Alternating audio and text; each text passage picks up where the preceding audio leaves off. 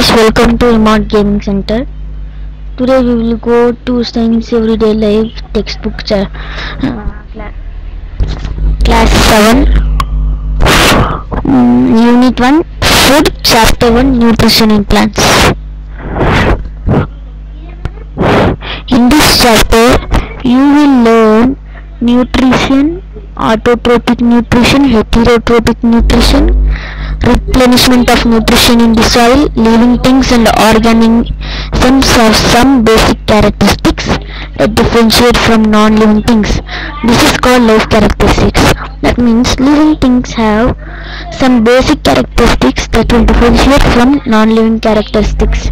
These characteristics are called as life characteristics. So we will see the example nutrition, respiration, growth, response to stimuli, etc. You have more living things have more characteristics so that we have more things so that it's etc hmm. okay let's go inside the chapter. First one nutrition. Nutrition so that nutrition is a organic nutrition. Okay let's start. Organism need energy to live and grow. This energy is obtained from food. The substance broken down by chemical process in the body of an organism to give energy is called food. So they are saying that organism needs needed energy to live and grow grow so that mm, so that they need energy from where do we get energy? We get energy from food. All the living organism get energy from food substance which is broken down chemically in our body will give energy to organism and that is called food. And the next line is the next line is the process by which food is taken in by an organism and used by its body is called nutrition. The process by which food is taken means uh, the process is that the organism takes food for its body is called nutrition so that we define the nutrition so that this is an important point. There are two modes of nutrition autotrophic and heterotrophic. There are autotrophic and heterotrophic in plants. We will go deep into it next autotrophic nutrition. Green plants make their own food through a process called photosynthesis photo light synthesis to put together. That means green plant make their own food in a process called photosynthesis. Uh, what is meaning of photosynthesis? Means photo means light. Synthesis means to put together. Okay next we go to next line. Uh, one second. Where is that one? Mm, uh, now next line is that the mode of nutrition in which an organism makes its own food is called autotrophic nutrition. In, the mode of nutrition that means organism don't want to eat its food to make its own food without any sources. That means the human will eat uh, vegetables fruits not like that. It will make its own food by its own powers. So those are called autotrophic nutrition organisms that follow the autotrophic mode of nutrition are called autotrophies. So that organism which follows autotrophic nutrition means the mode of nutrition which is followed by autotrophies is called autotrophs auto self troph nutritions. To self troph nutritions. That means they are saying and defining that auto means self troph means nutrition. Let's we go into a activity uh, this in this activity we are going to prove that the green plant contain chlorophyll so that we will study fully. So that the aim is to show that the green plant contain chlorophyll. The material needed is a leaf with two colors. Hmm, uh, two colors means we can take some hibiscus and coleus and a beaker we need and a beaker stand. Bunsen burner we need that will get in a labs only. Or we should buy it. Test tube water alcohol and iodine solution. Iodine solution will get in lab or you should buy in some shops. So okay let's we go into methods. In this method we will see that place a beaker so that here is the beaker place a beaker about 3 foot full of water. Means we should place a beaker about 3 quarters of the earth like that. We should place a beaker about 3 only some of the parts should be empty. And we should boil it. We should boil it. And we should place it on the stand so that the Bunsen burner will touch the glass and it will boil. it uh, place the leaf in this water about 2 minutes to soften the leaf. So place the leaf so that the leaf gets softened. And mm, take the leaf out and put it into test tube about 3 fourth of full of alcohol. So that they are saying uh, we should take out the leaf and put the leaf into a test tube which is 3 fourth of alcohol. Place this test tube in very hot water so that we should replace inside the um, beaker that is very hot water for 10 minutes and the, uh, when the alcohol becomes warmer it will remove the chlorophyll from the leaf and it will make almost colorless. That means it will make almost color means, means pale white. And we should take out the leaf and add 4 drops of iodine solution on its surface.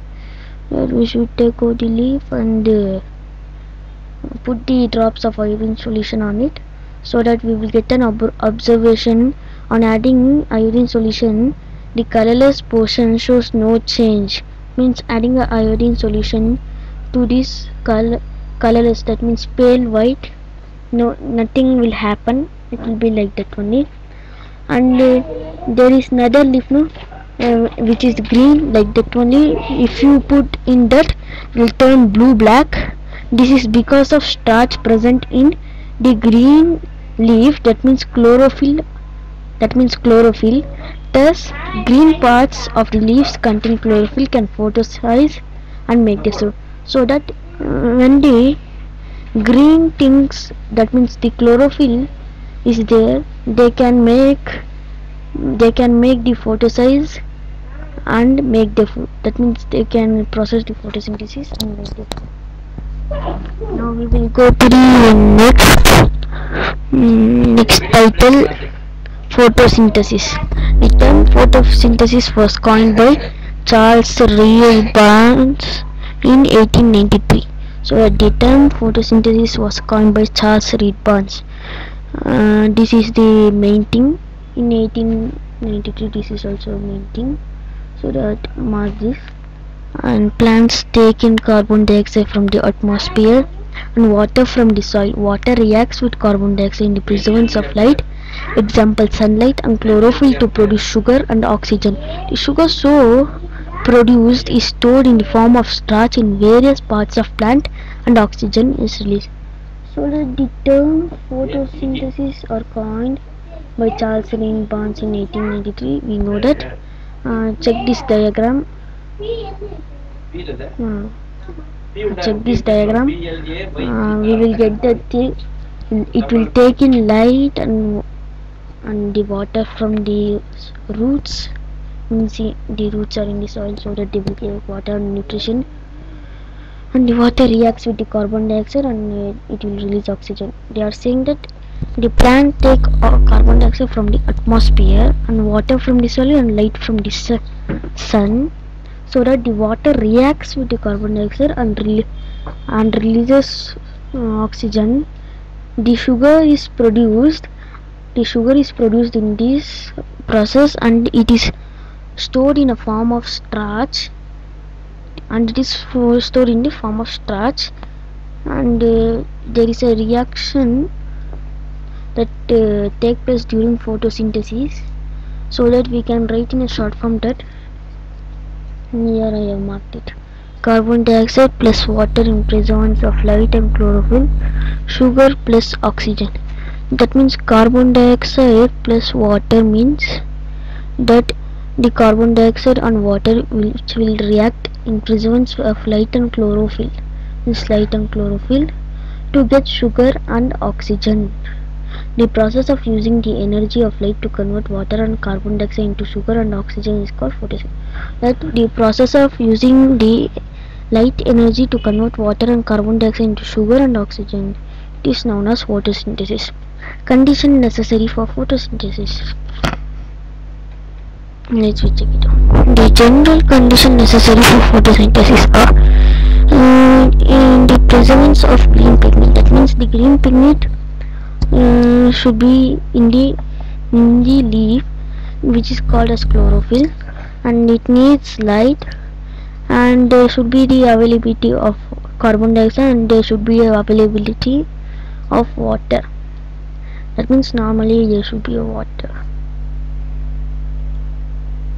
Next we'll go to chlorophyll.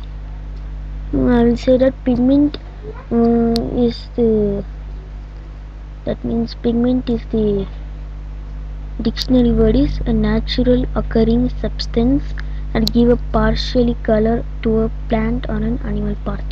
The pigment is a natural occurring substance. Means in plant, uh, some of the plant will be red, some of the plant will be blue due to this pigment.